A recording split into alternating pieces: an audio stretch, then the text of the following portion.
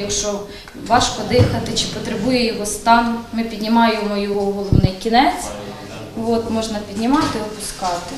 Так само можна зробити з частиною, де ноги є режим, який піднімає одразу у двох положеннях. Залежно від потреби регулюється висота самого ліжка. З пультом легко впоратись як медсестрі, так і пацієнту. Звичайні такі відчуття, як невагомості. Дуже зручно. Взагалі, ну, не зрівнити з тим ліжком, з яким, ну, яке було раніше. Допомогу у вигляді восьми таких ліжок із тумбочками-трансформерами Старокостянтинівському шпиталю передав благодійний фонд зміцнення громад. Їх розмістили у палатах терапевтичного відділення. Це покращить медичне обслуговування наших хворих. Їм буде краще, зручніше почувати себе в цих умовах, і медичному персоналу буде значно легше доглядати за цими хворими. У нас проходять лікування е, діючі військовослужбовці, пенсіонери Міністерства оборони та багато учасників е, антитерористичної операції. У відділенні забезпечені медикаментами ми в достатній кількості. Дуже часто до нас приходить волонтерська допомога. Е, На даний момент поступила допомога у вигляді функціональних ліжок, які ми розмістили в палаті, де знаходяться пенсіонери Міністерства оборони та учасники АТО. Дмитро близько року служив у секторі С, захищав Донецький аеропорт. Ледь не стільки ж змушений лікуватись. Ну, Тут давно вже лікуюся в цьому шпиталі. Трошки легше стає.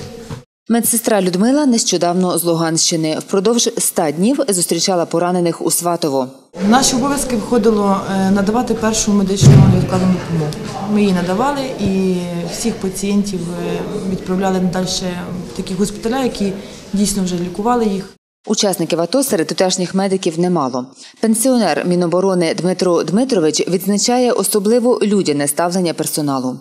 Я коли попав сюди, я дихати не міг. Я задихався. Але коли підійшла медсестра, сразу мені стало приємніше, несмотря, що я вже дід старий.